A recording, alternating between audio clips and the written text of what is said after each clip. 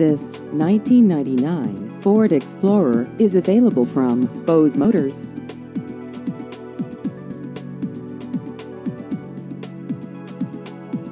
This vehicle has just over 172,000 miles.